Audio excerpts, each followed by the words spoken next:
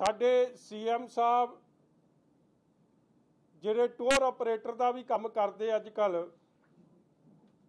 ਕੱਲ ਅਮਿਤ ਸ਼ਾਹ ਜੀ ਨੇ ਤੇ ਇਹਨਾਂ ਦੀ ਪਦਵੀ ਬਹੁਤ ਵਧਾਤੀ ਪਾਇਲਟ। ਇਹ ਜਿਹਾ ਪਾਇਲਟ ਤਾਂ ਜਹਾਜ਼ ਨੂੰ ਰਨਵੇ ਤੇ ਲੈ ਡਿੱਗੇ ਤੇ ਜਹਾਜ਼ ਨਾ ਟੱਪੇ ਰਨਵੇ ਇਹ ਪਾਇਲਟ ਨਹੀਂ ਸ਼ਾਹ ਜੀ, ਇਹ ਕਲੀਨਰ ਵੀ ਨਹੀਂ ਹੈ ਇਹ ਟੂਰ ਆਪਰੇਟਰ ਹੀ ਹੈ ਕੱਲਾ ਟਿਕਟਾਂ ਹੀ ਕੱਟਦਾ ਔਰ ਜਿਹੜਾ ਖਰਚਾ ਇਹ ਆਪ ਦੇ ਦੇਵੇ ਭਗਵੰਤ ਬੇਈਮਾਨ ਤੇ ਮੈਨੂੰ ਕੋਈ ਰੌਲਾ ਨਹੀਂ।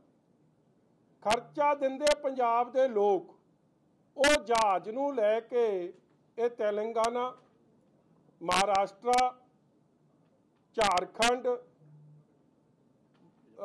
ਹਾਂਜੀ, ਗੁਜਰਾਤ ਅੱਠ ਅੱਠ ਸੂਬਿਆਂ ਚ ਗਏ ਆ ਜੀ, ਕੋਈ 8-10 ਸੂਬਿਆਂ ਚ ਗਏ ਆ ਲਿਸਟ ਤੁਹਾਡੇ ਕੋਲ ਹੀ ਹੈ। ਕਰੋੜਾਂ ਰੁਪਏ ਪੰਜਾਬ ਦੇ ਖਜ਼ਾਨੇ ਚੋਂ ਖਰਚ ਹੋਇਆ, ਤਮਿਲਨਾਡੂ ਔਰ ਉੱਥੇ ਕਿੱਡੀ ਸ਼ਾਨਦਾਰ ਅੰਗਰੇਜ਼ੀ ਬੋਲੀ ਉਹ ਤਾਂ